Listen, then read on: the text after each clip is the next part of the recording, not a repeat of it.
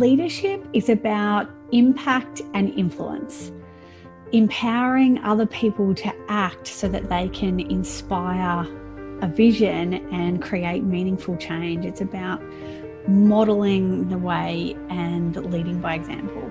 It would be that you can walk into a room and the majority of people plan on turning left and you enable them to see the virtue in going right.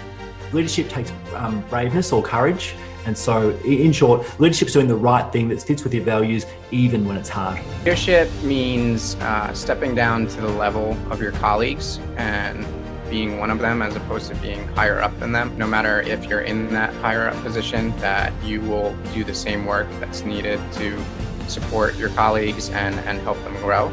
It's about finding the right people as part of your team and and getting them or helping them to grow and develop their own individual sort of skills.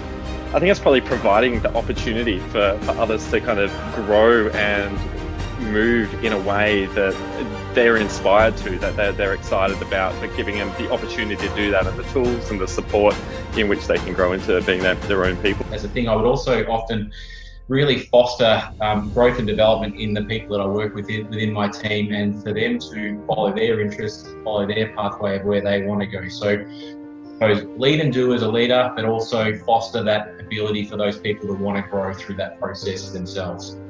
You, as a leader, need to know each individual's strengths, weaknesses, beliefs, values.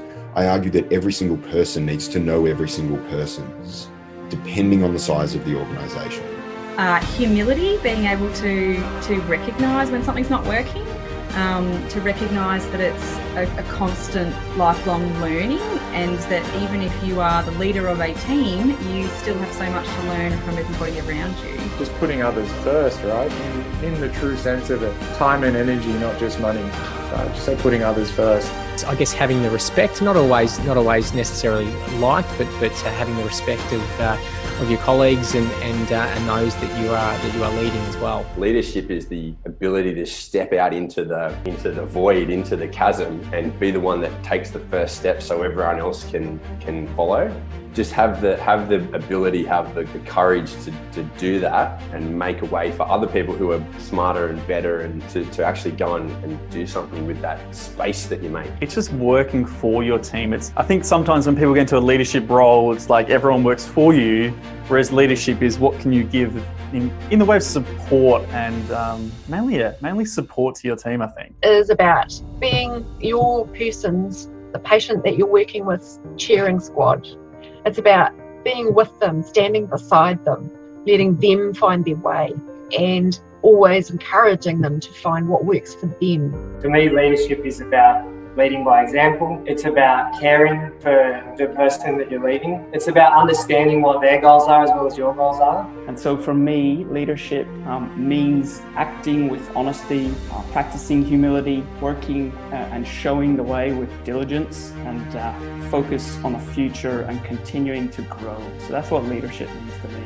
As a leader, you often have to be vulnerable and bring myself down to the person's level and to minimize any authority I have in this situation, I suppose.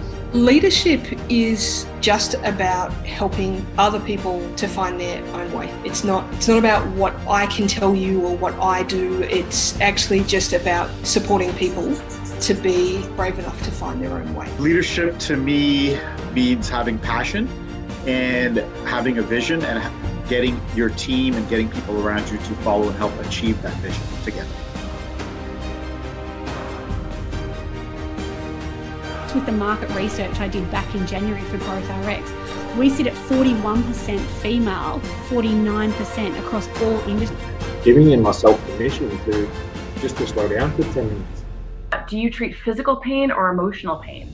I get that question all the time. Anyone who works with people especially in a service driven industry, has the ability to lead. In fact, we've got a duty of care to inspire others to do better and be better so that we can all thrive.